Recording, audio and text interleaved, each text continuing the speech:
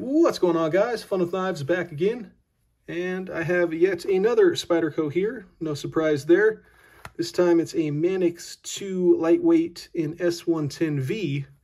And I want to make it awesome. So welcome to episode 7 of the Knife Upgrade Series.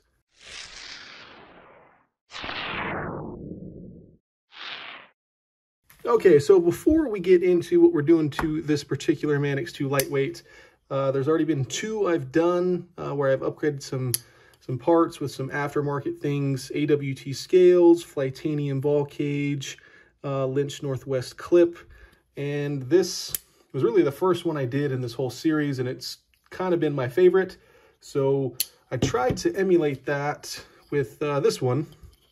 Same scales, same clip, just a different finish but I had a little bit of trouble with the ball cage on this model. It just didn't want to fit.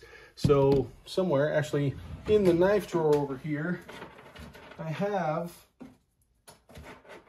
who knows where it is, but I have an extra, um, one of these aftermarket Flytanium ball cages. I think it was a slotted aluminum one in orange, kind of tie that in, but didn't really fit, but for whatever reason, I talked about this in a separate video, this brass one fit in these same scales.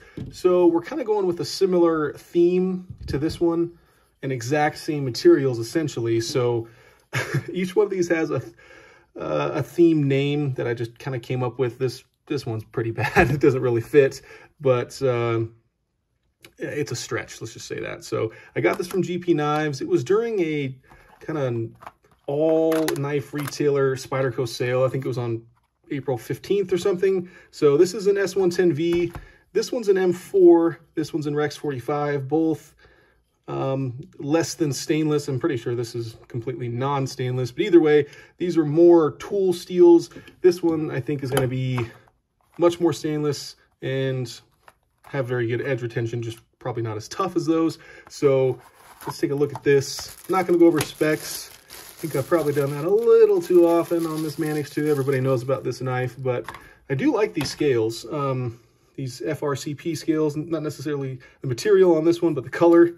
Uh, this kind of denim, dark blue, blurple looking thing looks good, but I think we can do a little bit better. So that one is going to change to, again, some AWT Manix 2 lightweight replacement scales. These are Cerakoted. This color was a, one I wanted to try quite a while ago. It is Cobalt Kinetics Green.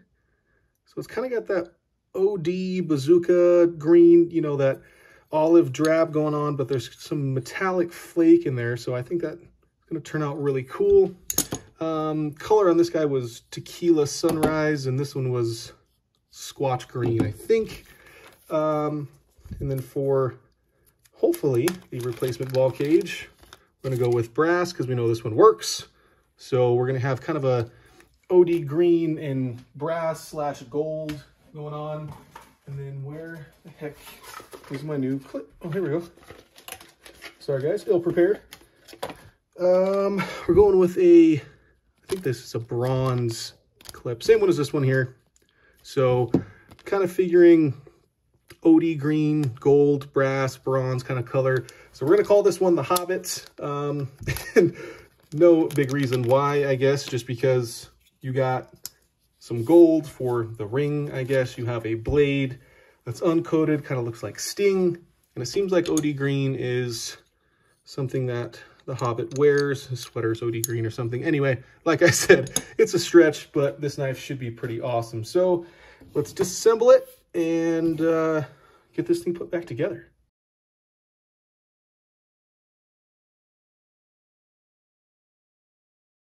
All right, as I was kind of doing this disassembly here, I thought it might be good for those of you who have a Manix 2 lightweight that want to disassemble it just to clean it or to replace anything. Um, so it's very simple construction. These actually used to be pinned together. You couldn't take them apart. I have one here, old school one, this is, uh, I don't know if it's a first gen or not, but see, everything's pinned together. You can adjust the tension on the pivot, but that's it. You can't take that thing apart.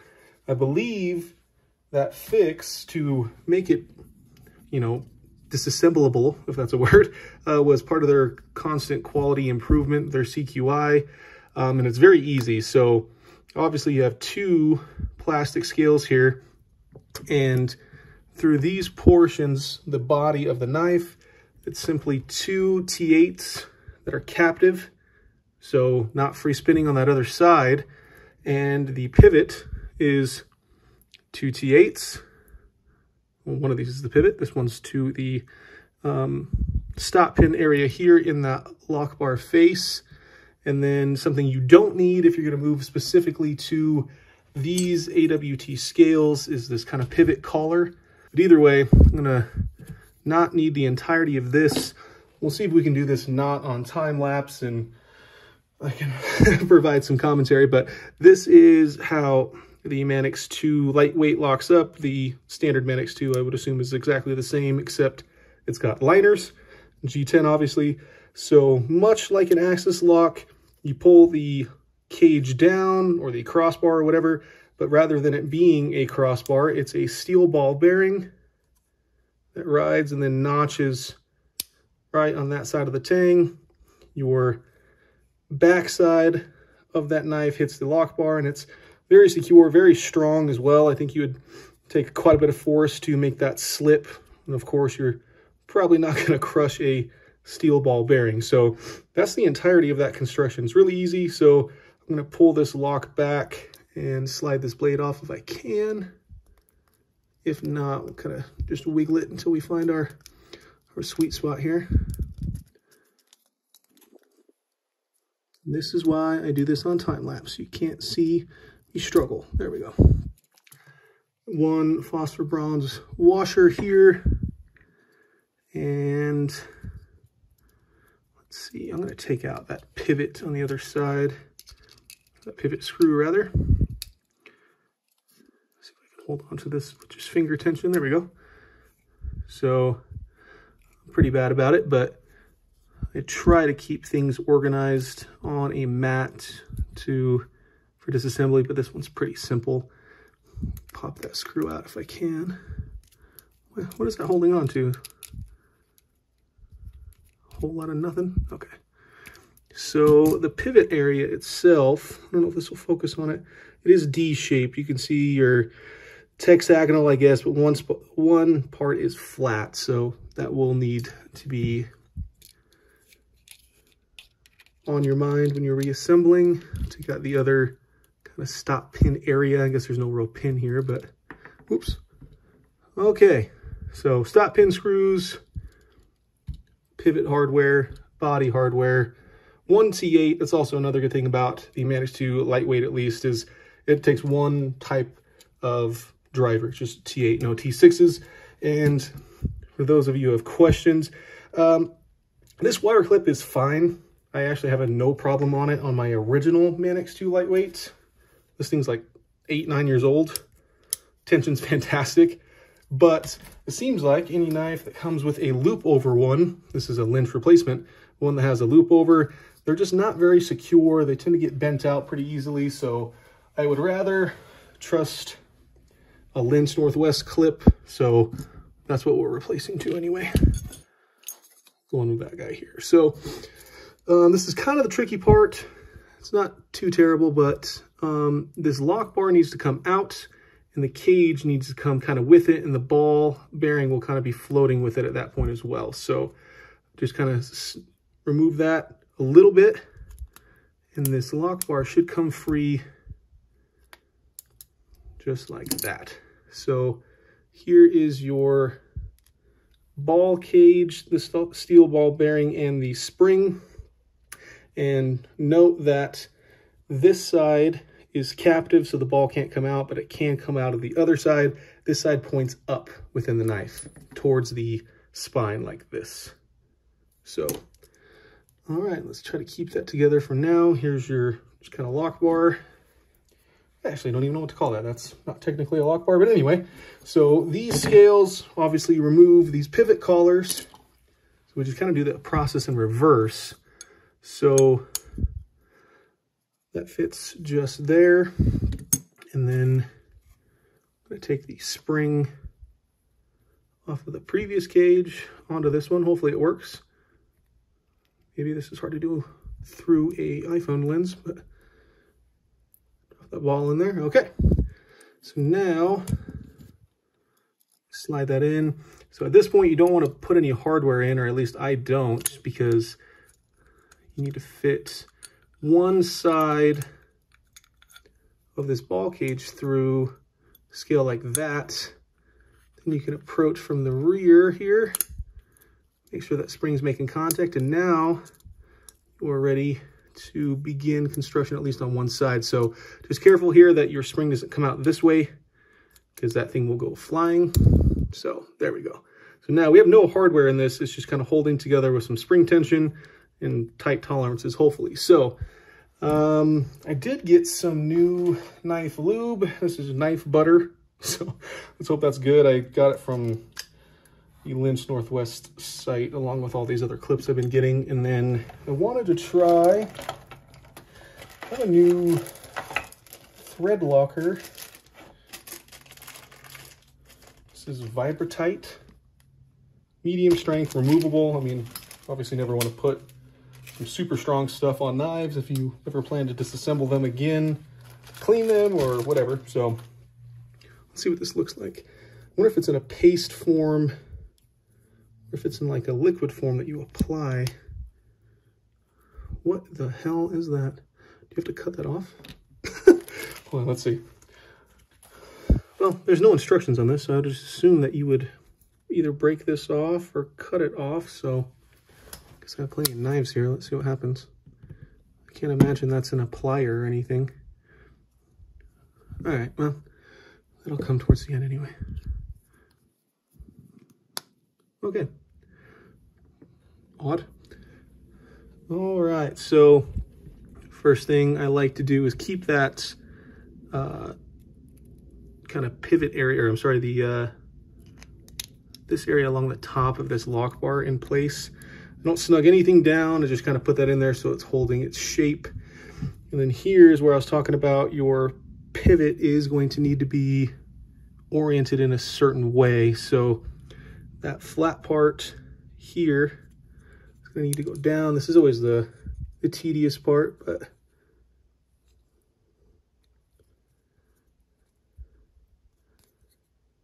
Okay, wow, that fit pretty good. I think that coating is actually going to hold it in pretty well.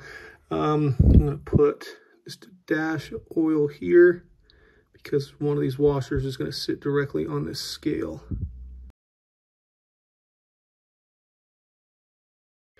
Here we go again, using new shit. Not get anything out of my knife butter. Oh, it's way thicker than I thought, and it's Look at that color on that thing. I didn't think it looked like that. I'm squeezing the bejesus out of this and nothing's happening.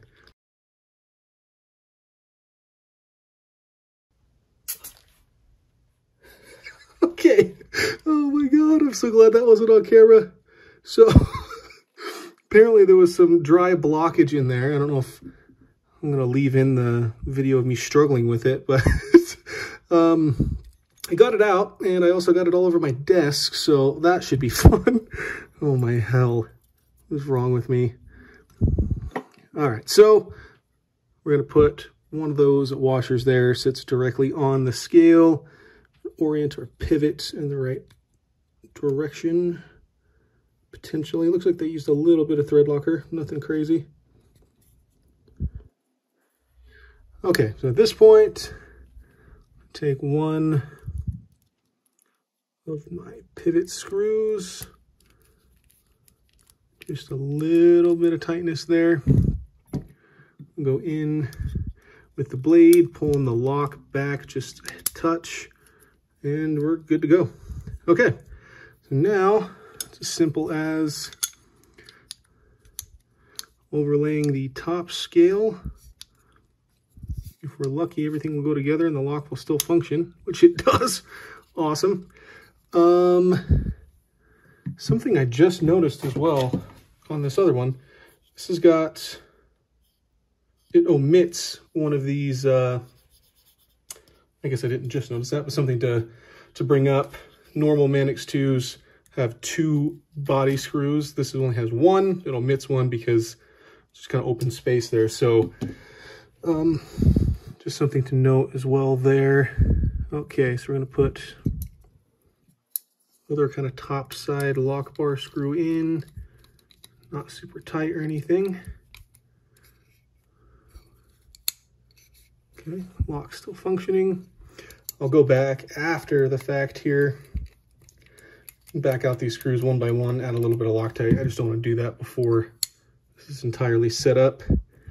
And then, for whatever reason, looks like I have the T8 side on the show scale rather than that. I don't know. It doesn't matter. I'll keep the same theme, I guess. So these are also kind of D-shaped captive ends, these screws. So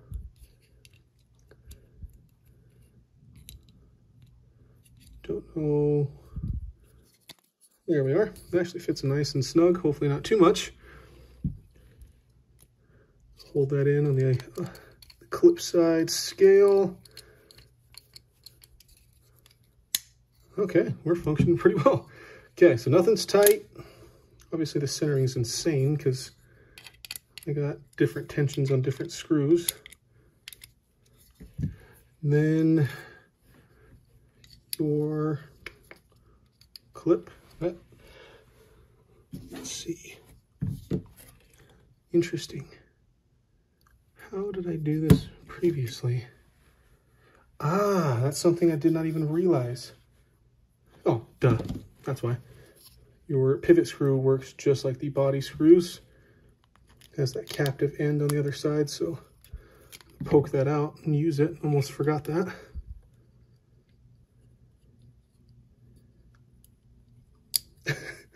Hopefully this isn't just me breathing heavily, crouched over the tripod. Come on now. Okay. That's ready for our pocket clip screw. So these I found, actually all the wire replacement ones have pretty good tension. So hopefully I don't have to mess with that after it's on the knife. Actually, let's do this. Make our lives a little easier. Come on. Try not to swear too much because that's usually how these assemblies go.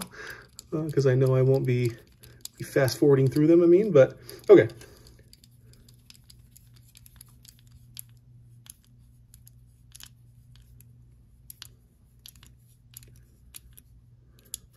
All right, that's how we're looking. That's pretty awesome. Um, okay, let me tighten this down, clear the desk. We'll kind of look at a final reveal. There we go. That's my uh, Hobbit themed, somewhat, uh, Manix 2 Lightweight S110V some AWT scales, Flytanium brass ball cage and your Lynch Northwest replacement titanium clip. Um, these uh, clips and everything are going to have a little bit of variance. So obviously this one's more worn, but it came out more gold. This one's very muted, so I'll probably have to clean that a little bit. And even these from Flytanium are slightly different color. So this and this doesn't necessarily match all that well. Um, I might even rethink the name on this one. I don't even know. But the biggest problem is we are running into the same issue that we ran into on the Agent Orange, where the ball cage isn't fitting, so we had to keep the OEM one. This one, though, is so, so close that, see, centering's good. Everything up here is just slightly loose. You see that cage won't all the way engage, but there's just a slight push and it's there. So I'm just going to break this one in. Uh, that was my initial plan on this guy, but whatever. But I think the colorway at least looks pretty good. I actually like this Cobalt Kinetics Cerakote a lot. Um, and the tension on the clip is pretty good. So now we're in, wait, video's not quite over. Um, I, don't, I have a bunch of shit on this desk, but uh, I took this cage out. I tried a slotted titanium one. I don't know why these things give me so much, so many issues. But I tried this one and it was even worse. It like did not fit. So this is reserved for if and when I get a normal Manix 2 in G10 with full stainless steel liners. So I was like, I'll just put this back together, try to work it in. And I also uh, gave this clip a little bit more retention. So that's definitely going to stay in the pocket now. But centering's good. And check out this. Action's good. Lock is functioning perfectly. Uh, the lock's a little sticky, I guess. Or not sticky, rather. The action's a little slower than I'd like, but it's brand new, brand new scales and aftermarket pieces. But it's working just fine. So I think I just probably assembled that a little bit better off camera and didn't tighten one side of the pivot or something too much too early. But it's it's great. Detent is good. Like completely usable. Lockups super strong, super stuck in place, no wiggling side to side, up or down. That spring tension is pretty stout though. You gotta get a good grip on that that ball cage to move that back. But anyway, one final look at the Hobbit Manix 2 lightweight with all this cool stuff on it. I like it quite a bit. So thanks for watching, guys. And remember, have fun with your knives.